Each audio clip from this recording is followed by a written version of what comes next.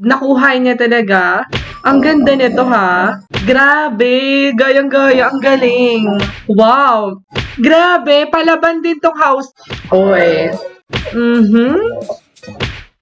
Hey mga Papa Lovers! Welcome back sa aking YouTube channel. So ayan po, kumontak po ako ng dalawang architect na kung saan uh, makakatulong pa sa akin para mas ma-improve po yung magiging design ng aking bahay. Sino kaya yung talagang mas makakakuha ng konsepto ng iniisip ko? Grabe, ang lalim nun ha. So keep on watching!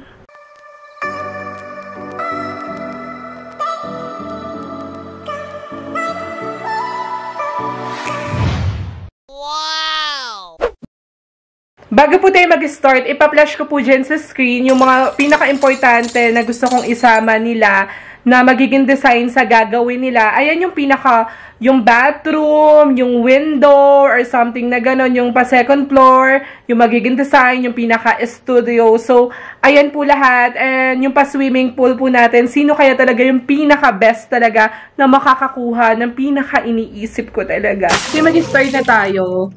Wow! Guys, ito kasi yung gusto ko, yung, yung something na may pagit and nakuha niya talaga. Oy, kung napapansin nyo, kuhang-kuha niya po yung aking unang, uh, yung pa floor, yung may uh, dalawang bintana dito sa gilid and it, dito sa harapan and yung sa pintuan. And ayan, nakuha niya rin yung may mga pahalaman. Wow! Kung napapanood nyo at napansin nyo talaga yung mga, yung vlog ko, yung last vlog ko, eh, pahalo blocks na malaki, tapos, iisipin ko pang maigi. Basta ito, gusto ko din parang may Bermuda grass. Ito, ang laki pa ng sakop natin kasi sa kabila, ito na yung sa kanila. Ito, dito yung pinakagilid. And grabe, nakuha niya talaga. Ang galing. Ang ganda nito ha. Oy, may something na may pabahay kubo which is maganda siya and grabe, gayang-gaya, ang galing. Wow, 'di ba sabi ko nga sa inyo, gusto ko ng may pa swimming pool. Grabe, amazing. Magpagawa kayo dito kay B Arch Design ha. And yung gilid, oh wow, may ano parang pa dirty kitchen dito pa rin, something na ganyan. Pwede pa rin dito uh, maghugas ng plato, something na ganon, ayan sa labas. Tapos ayan yung ating pa garahe. Oy, maganda rin pala kung mag uh, ano ako ng bamboo dito sa pagilid. Ang galing. Wow. Ayan. Grabe, di ba yung pag-enter pa lang sa uh, pag-enter pa lang sa house, merong dalawang pinto and then ito yung bintana. Grabe, nakaka-amaze. Ayan yung magiging sala natin. Wow. Oh, yung kitchen. Mhm. Ang galing. Grabe. Mhm. Ito yung ano, yan. Ito yung aking kwarto. Ayan. Wow. Ito naman yung kay mama. May bintana rin doon. Oh, galing. Ah, mas better na lagyan nga ng salamin. And ito yung pinaka-CR natin. Okay. Uh, ulitin ko lang. Pag akyat dun sa taas, masyado kasing mabilis. Ayan yung pinaka-CR natin. Nakuha niya rin.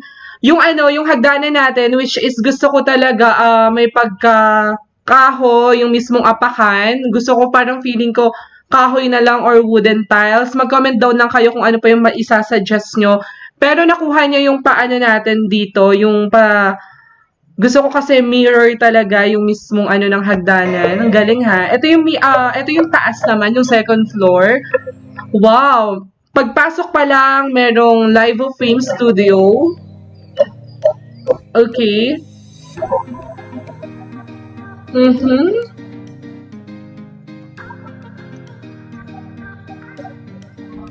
Wow, may pa-OPS. Siguro ito na yung pinaka ano, tama siya. Nakuha niya yung pinaka gusto ko, master bedroom sa taas. Ayan. Ang ganda. Ayan, ito yung pinaka-importante kasi sa akin. And gusto ko kasi may bathtub. Feeling ko hindi ko na to papalagay. Papata papa-remove ko na to. Gusto ko bathtub na lang and then shower na lang.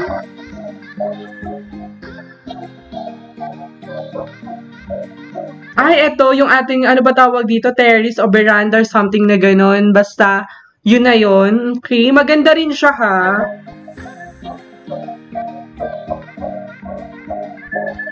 Actually, kasi mga pabebe lovers, ang gusto ko talaga sa kulay ng house ko is yung parang black gray or something na ano, pa gray. Kasi yun talaga yung, yun talaga yung ano, yun talaga yung pinaka gustong gusto ko. Grabe, wow ako dito kay BRH Design. Maganda, nakuha mo naman, pero syempre, tignan muna natin, ikumpara natin yung next, at kayo mga pabebe lovers, yung mag, uh, kayo yung mamili kung ano yung mas better na pabebe house para sa inyo. Ito naman sa pangalawang bahay sa ating pabebe house na ginawa po ni Barrio Architect. I-subscribe nyo po ang kanyang YouTube channel. So, i-check natin kung okay ba, nakuha niya ba yung gusto kong house, nakuha niya ba yung iniisip ko. So, alam niyo naman, grabe. Excited na talaga ako. Hi! Mm-hmm. Yan, the Barrio Architect. Uy.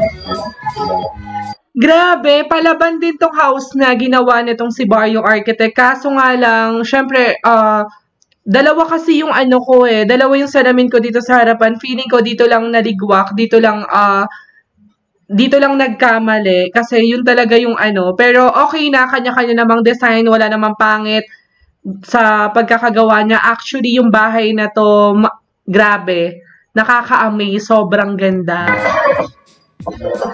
Oy.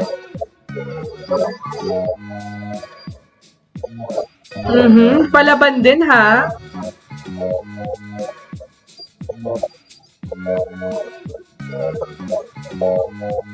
Mhm.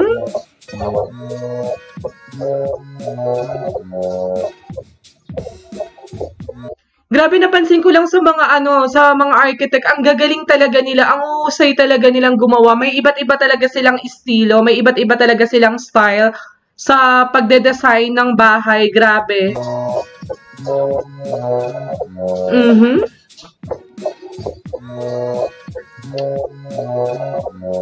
Wow, excited na ako. Yan. Huwag niyo kalimutang i-subscribe at i-click ang kanyang uh, bell para ma-notify kayo sa lahat ng mga video na ginagawa niya. Okay? Grabe! Ang ganda! Mm-hmm. Nakaka sobrang excited na talaga ako, guys. Kasi nga, parang ano eh uh, isa talaga sa parang achievement ng isang vlogger yung magkaroon siya ng bahay. At eto na yon dahil sa panonood nyo dahil sa pagsusuporta nyo sa akin hindi naman po tayo magkakaroon ng ganto and paalala ko lang po sa lahat uh, ayan nagpapagawa na nga po tayo ng bahay. At ito po yung kabuuhan. So ito po yung plano na nasa isip ko at pinapanood ko po ito sa inyo para 'di ba? Para malaman niyo na rin talaga yung mga uh, yung magaganap dito sa Pabebe House, kung ano ba talaga yung mga disenyo, kung ano ba talaga yung mga ganap, ayan. So, grabe. Okay. Wow.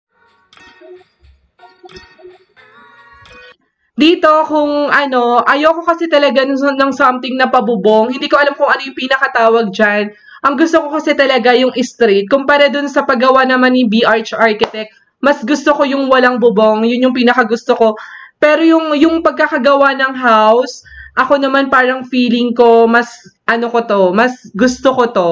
Kasi para sa akin, mas maaliwala siya. Pero again, wala pong pangit sa ano nila. Meron lang talaga akong nagustuhan sa B Architect yung unang house and then meron lang din akong kukunin dito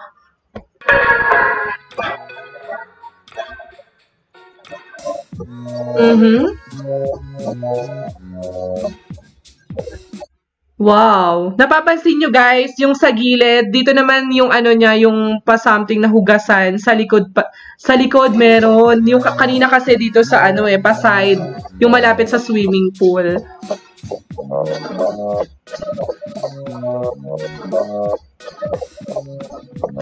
Ganda. Grabe. Ito yung ano, sure ball na magaganap. Gusto ko talaga, yung, yung, yung pinaka first floor natin is kulay gray, something na black gray. Hindi ko alam kasi kung ano talaga yung tawag sa color na yan eh. I-comment down nyo lang po, baka matulungan nyo ako. And then something na may pagka white gray ang tatawag. Ganto, gantong ganto po talaga. Hindi kasi ako ganun kagaling sa mga color, kaya magpapahelp ako sa inyo. Okay. Wow, ang ganda. Masyado siyang classy, no? Oh. Ang galing nakuha niya rin yung gusto kong design. Wow. Ito yung pinaka main door eh. Pagpasok pa lang dyan, dito na yung kwarto ko tama. Mhm. Kaso lang, yung ginawa niya dito is more on parang pa-wood yung mismong hagdanan. Pero okay naman kasi Uh, maganda naman. Mhm. Wow, nasa gilid naman yung rep kasi kanina banda dito sa ano, sa hagdanan yung ginawa ng isa. Ito naman, feeling ko mas gusto ko tong design niya dito kasi mas feel ko sa gilid talaga.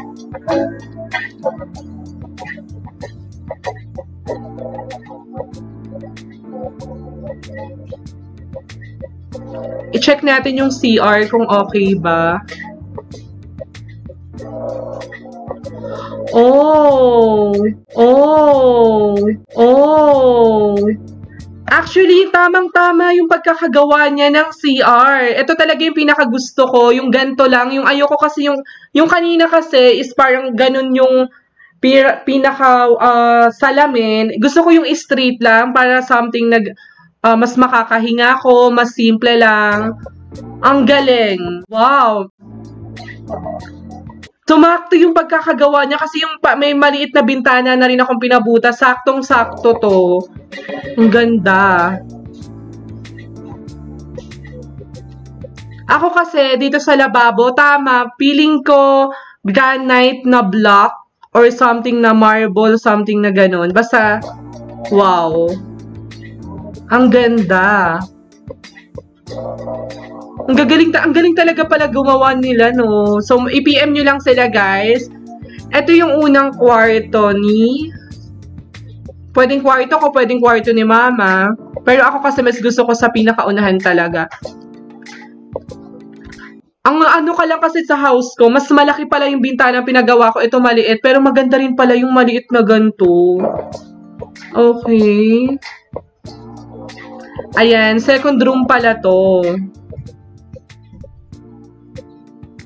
Wow, ito yung kusina. Ang ganda. Iba rin yung pagkakadesign niya, oh. Mm -hmm. Dito na tayo sa pinaka-kwarto. Ayan. Grabe, kuhang-kuha. Ang galing. Ayan, tamang-tama. Ang tiles kasi na ganyan is wooden tiles, which is yun yung gusto ko, na may pagka, ano, uh, latest daw kasi yung wooden tiles, yun yung gusto ko. Pero, hindi ko alam, guys, kasi ang gusto ko talagang pina... Ang tiles kasi na gusto ko sa kwarto ko is wooden tiles. And then, yung sa sala ko is, uh, marmol. Ayan. Gusto ko marmol yung, marmol yung gamitin dun sa pinaka-kusina. Pero mag-comment down lang kayo kung ano yung, pina, pa yung uh, isa-suggest nyo.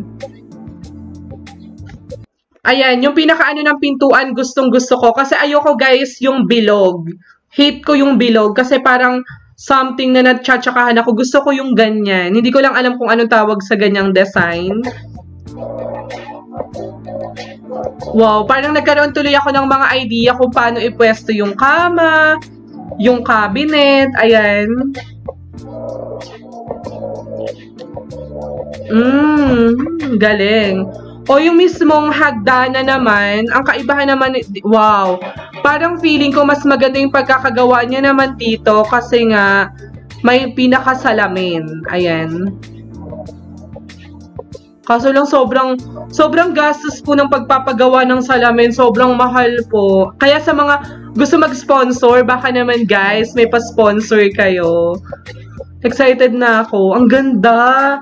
Siguro ilang milyon din yung magagastos ko dito. Pero, unti-untiin natin. Kasi ako naman kasi yung klase, guys, ng tao na uh, hanggat nakakaraket, feeling, pinaghandaan ko na siya. Sa 2021, ipupush ko pong magawa yung, yung second floor. Ngayon po muna, is focus po muna ako doon sa sa labas, yung nagpapatayo na po ako ng mga hala-halaman, iba-vlog ko rin po yan soon, nagtatanim na po ako ng mga fruit trees, Ayan, at saka yung first floor natin, yun yung unang gagawin talaga ng mas bonggang-bongga.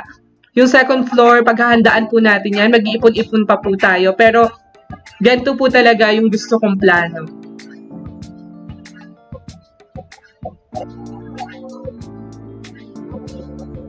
Mm-hmm. Ang galing din ng pagkakaisip niya ng ating pa-studio. Parang grabe, ang dami namang aircon ng bahay na to. Tapos something na, na may pati, may pa-flat screen. Ang ganda. Oy! Eto. Eto yung matagal ko nang pinapangarap, yung ating master's bedroom na kung saan po meron pa siyang malaking ano, pasalamin ng ganyan. Yan po yung pinaka gustong gusto ko po talaga na kung saan nagka-canvas na po ako na ang mahal ng presyo. Sana may makuha tayo. Wow. Okay. To be honest, parang nagustuhan ko yung pinaka-design nung naunang, yung sa B architect design, yung sa una.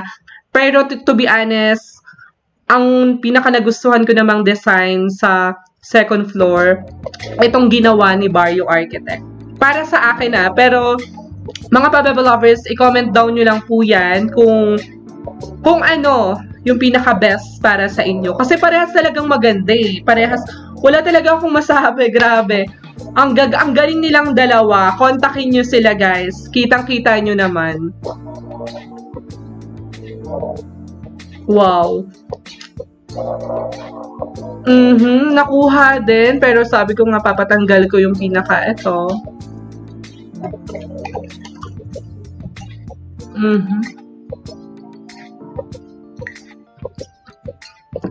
Sa CR, bet na bet ko yung gantong design.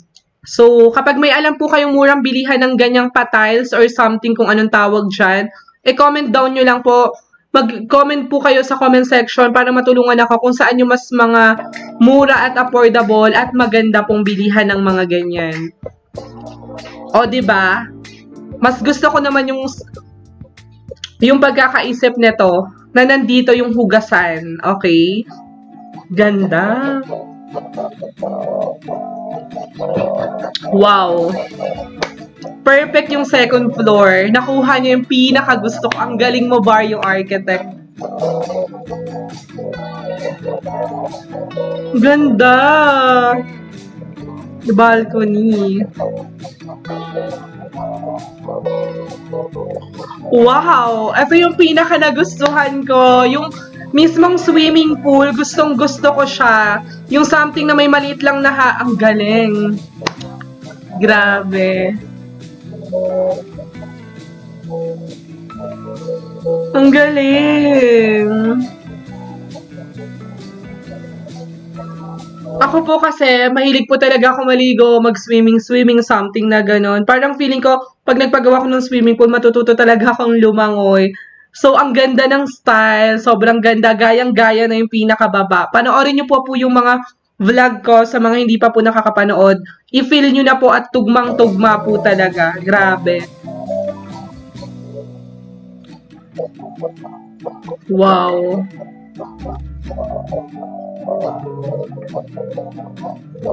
Parang lagi ako may nakikitang gantong design. Pwede rin apakan yan.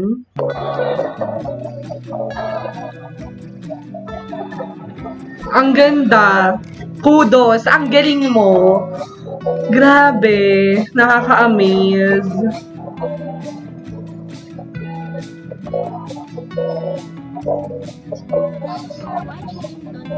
Ayan na nga mga Pabebe Lovers, nakita nyo na rin po yung kabuuhan ng Pabebe House. Grabe. And ang focus ko po kasi is mapagawa muna yung first floor. Siguro kapag meron na tayong budget, pagawa na po natin lahat. And mapapanood nyo po ulit sa vlog ko yung something na uh, nagtatanim na tayo ng mga fruit trees. Pinaghandaan na natin yung may pa-resort na sinasabi ko. Gusto ko talaga ganun yung maging eksena sa ginawa nila na, ayun, pagdadasenyo ng aking bahay. Yun talaga yung actually na konsepto ng Pabebe House. Siyempre, uh, hindi naman agad-agad mapupush natin yon Basta kapag nagkaroon tayo ng maraming racket, paggawa agad, yun naman yung goal ko as a vlogger. Kaya, uh, sana supportahan nyo po yung, yung goal ko. Ayan, sana swertihin pa tayo para mas bongga po yung mapagawa nating house. And, grabe, ngayon pa lang po, taos-puso po ako nagpapasalamat sa lahat ng aking mga subscribers na kung saan uh, grabe, sa 5 years ko sa social media, nandyan pa rin po kayo. And sana wag nyo pong skip yung ad, i-share nyo po tong videos na to. And kung may mga suggestion pa po kayo mga Bebe Lovers, mag-comment down lang po kayo kung ano po yung gusto nyong idagdag, kung ano po yung mapa, maka, uh, makakapagpaganda ng ating bahay, kung ano po kung saan tayo makakabili ng murang mga gamit sa magiging house natin. Ayan. So, maraming maraming maraming salamat po sa lahat po ng mga nanood ng vlog na to. Sana nag-enjoy kayo.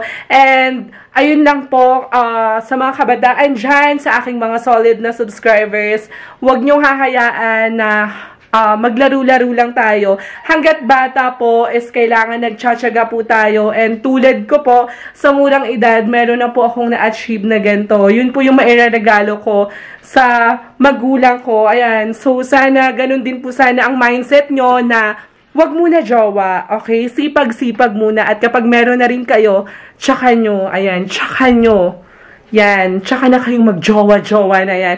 Ayan. Thanks for watching. Mwah! Bye!